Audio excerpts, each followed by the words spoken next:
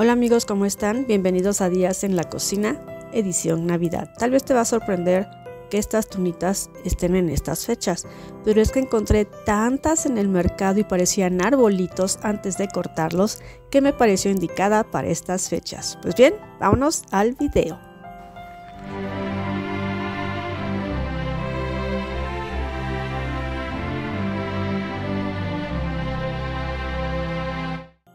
No sé si ustedes conozcan la tunita de nopal. Es una pequeña tunita que avienta una flor rojita que no abre completamente. Estas tunitas se dan en los cactus que dan los nopales. Por lo regular es roja. Y yo te voy a mostrar cómo puedes cocinarla. Aquí yo la tengo ya rebanada no tengo tunita completa para que veas cómo queda realmente. Eso lo puedes ver en las fotos que te puse al principio.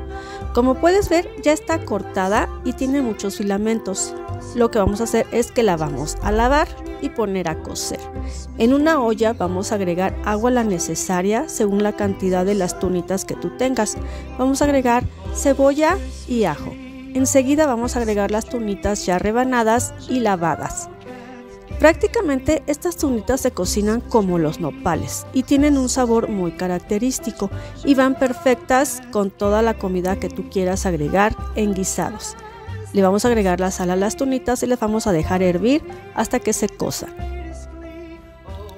Como puedes ver aquí ya agarraron color las tunitas, un, un color verde opaco y está baboso, tal como tú ves cuando cocinas tus nopales.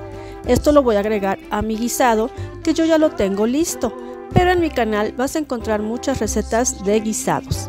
Vamos a quitarles el agua para agregarlas al guisado.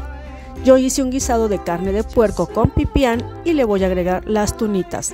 Pero como te digo, tú puedes encontrar las recetas en mi canal en donde puedes utilizar este delicioso manjar de los dioses como lo conocen. Pues bien amigos, esta es nuestra última receta de Navidad.